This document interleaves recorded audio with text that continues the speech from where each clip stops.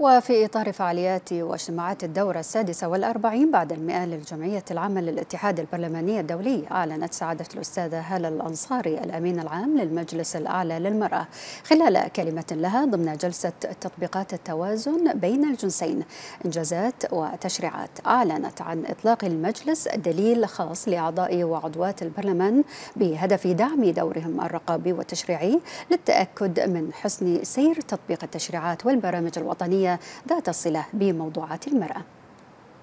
خاصة فيما يتعلق على هامش اجتماعات الجمعية العامة أقام المجلس الأعلى للمرأة جلسة نقاشية متخصصة بعنوان تطبيقات التوازن بين الجنسين إنجازات وتشريعات أمام عدد كبير من الحضور لتسليط الضوء على النموذج البحريني المعني بمتابعة تقدم المرأة البحرينية لاستدامة مشاركتها في التنمية الوطنية.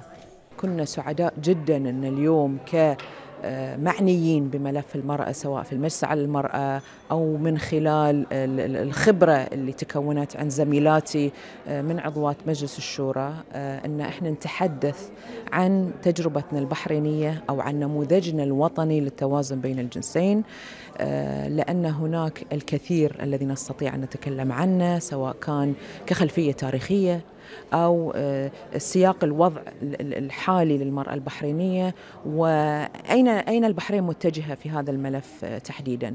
فانتهزنا فرصة إقامة هذه الجلسة من أجل تدشين دليل نوعي يعين المشرع اليوم أو يعين البرلماني أينما كان. حول العالم أن يوظف أدواته التشريعية ويوظف أدواته الرقابية من أجل متابعة إنفاذ احتياجات المرأة في التشريعات وفي السياسات وفي البرامج وفي الموازنات.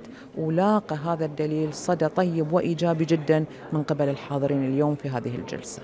كما تم خلال الجلسة استعراض معلومات تاريخية تشير إلى ريادة المرأة البحرينية في العديد من المجالات إلى جانب الخطة الوطنية التي شاهدتها المملكة للنهوض بالمرأة وما ينبثق عنها من مبادرات وبرامج يتم إدماجها في مسارات عمل الدولة. تدشين الدليل الاسترشادي اليوم للبرلمانيين في جانب تنمية احتياجات المرأة وبيان الفصول الذي تضمن هذا الدليل من آليات مساندة للبرلمانيين في كيفية العمل على فهم المواضيع المرتبطة في الإدماج من حيث في باب كان مخصص لمسألة المصطلحات والمفاهيم آليات العمل والتنسيق آليات تقديم المبادرات والمشاريع بقوانين أو الاقتراحات تناول كيفية أيضا الدعم من خلال الميزانيات المستجيبة لدمج احتياجات المرأة. كل يعني النساء البرلمانيات اللي أنا يعني شرفت إن أنا أشارك معهم في أي حاجة أو على المستوى البرلماني أو الإداري حاجة تجربة نفتخر بها كعرب كلنا وأنتوا تفتخروا بها كمملكة البحرين. الأفكار المطروحة المداخلات القيمة جدا والندوات التي تعقد ولا علاقة بالموضوعات المطروحة ومؤثرة سواء على المستوى الاجتماعي والمستوى البرلماني. ثني على الجهود يعني الحثيثة في مملكة البحرين وللمراكز اللي وصلتها المرأة. يعني ونتمنى لهم كل التوفيق في الوصول إلى مراكز طبعا أكبر ونتائج أفضل. بس يعني الإنجازات اللي لحد الآن وصلت لها المرأة في البحرين هي إنجازات يعني كبيرة على مستوى مو بس المنطقة حتى على مستوى العالم. هذا البناء المؤسسي المنظم والذي ضمن استدامة الجهود لتقليص الفجوات لم يأتي من فراغ.